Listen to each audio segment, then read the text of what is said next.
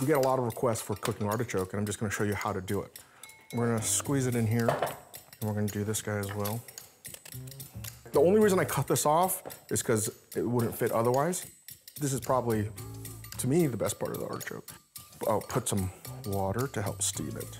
We're gonna cook this for 10 minutes. While that's cooking, I'm gonna make the sauce. And this sauce would be good with anything, but it goes particularly well with artichokes or any vegetable, whether it's carrots, cucumbers. It's a great dipping sauce. This is uh, almonds that I've already been trying to mash up. And the irony of using probably one of the most prehistoric culinary tools and this thing behind me is not lost on me, but it's important to use the best tools. And I'm gonna mash this up as best I can. I'm gonna add some garlic.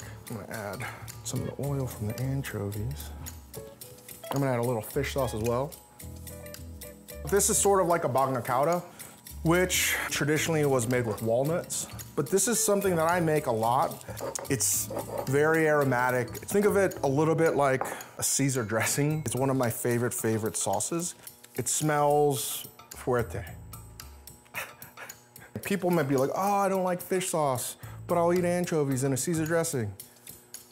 That is basically the same thing. This is just the distillation of this. And I will add lemon juice, add a fair bit of butter. Cool down just a little bit. I'm gonna cook this till I sort of get brown butter, which is the milk solids in the butter caramelizing.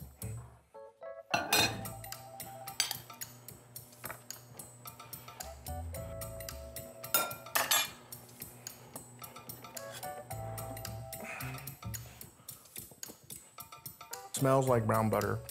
And I'm just gonna stir it up. I cook this for maybe 10 minutes. That is extremely delicious. And you wanna serve this sauce hot.